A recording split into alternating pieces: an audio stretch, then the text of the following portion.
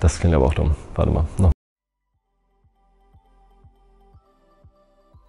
Moin, ich bin Tom von Originalräder und heute geht es um das Thema abgefahrene Reifen und warum diese besonders gefährlich für dich sind. Grundlegend erstmal gesagt, das Profil deiner Reifen bestimmt, wie gut oder schlecht deine Eigenschaft, Fahreigenschaften sind. Das bedeutet, je weiter dein Profil abgefahren ist, desto schlechter sind auch deine Fahreigenschaften. Dabei handelt es sich um Eigenschaften wie zum Beispiel den Bremsweg, die Wasserverdrängung oder deine Haftung auf Schnee und Eis. Hier haben wir dir einmal einen abgefahrenen Reifen mitgebracht, an dem man sehen kann, wie flach das Profil bereits ist, weil hier schon sehr viel von dem Profil abgefahren wurde. Im Vergleich dazu haben wir einen neuen Reifen mitgebracht. Dort siehst du, dass das Profil wesentlich höher ist und das bedeutet auch, dass deine Fahreigenschaften besser sind.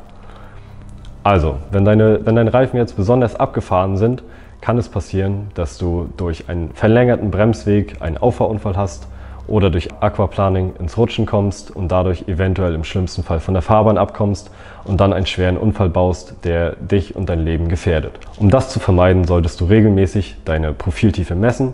Wie man das richtig macht, haben wir dir in einem anderen Video erklärt, das wir dir hier oben verlinken.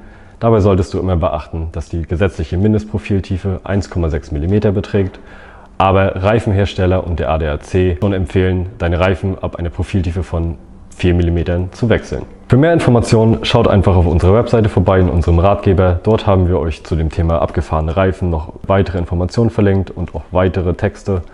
Und ansonsten bis zum nächsten Mal.